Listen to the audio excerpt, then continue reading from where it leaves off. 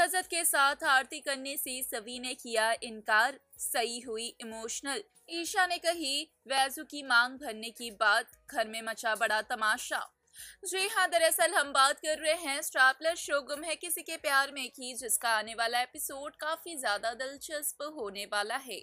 जहाँ शो के upcoming track में हम देखेंगे कि किस तरीके से ठक्कर परिवार में गणपति बप्पा की मूर्ति की स्थापना की जाती है और सभी लोग बेहद खुश नज़र आते हैं। एक करके सभी लोग जोड़े में आरती करते हुए दिखाई पड़ते हैं और अब जैसे ही बारी रजत और सभी की आती है, सभी सही को गोद में उठाकर पीछे हट जाती है।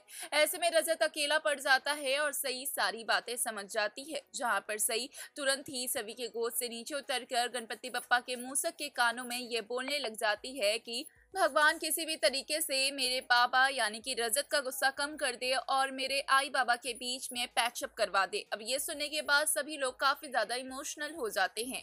फिर कहीं ना कहीं सभी और रजत साथ में आरती करने के लिए तैयार होते हुए भी नज़र आते हैं। तो वहीं दूसरी ओर ईशा वैजो को रोकती है और कहने लग जाती है कि वैजो एक सुहागन है और उसे इस तरीके से आरती नहीं करना चाहिए, पहले अपनी मांग भर लेनी चाहिए, जहाँ पर वैजो अपनी मांग भरने लग जाती है और कहीं ना कहीं सच बताने का सोचने लग जाती जाती है तो वहीं पे दूसरी तरफ़ एक तस्वीर सामने आती है, जिससे ये खुलासा हो जाता है कि रोहन किडनैप हो चुका है। और ऐसे में एक बार फिर से ठक्कर परिवार में पूरी तरीके से तमाशा पसरते हुए नज़र आ रहा है। वेल तो इस पे क्या है? आपकी राय हमें कमेंट के ज़रिए ज़रूर बताएँ। साथ ही ऐसे खबरों के लिए चैनल को सब्सक्राइब करें।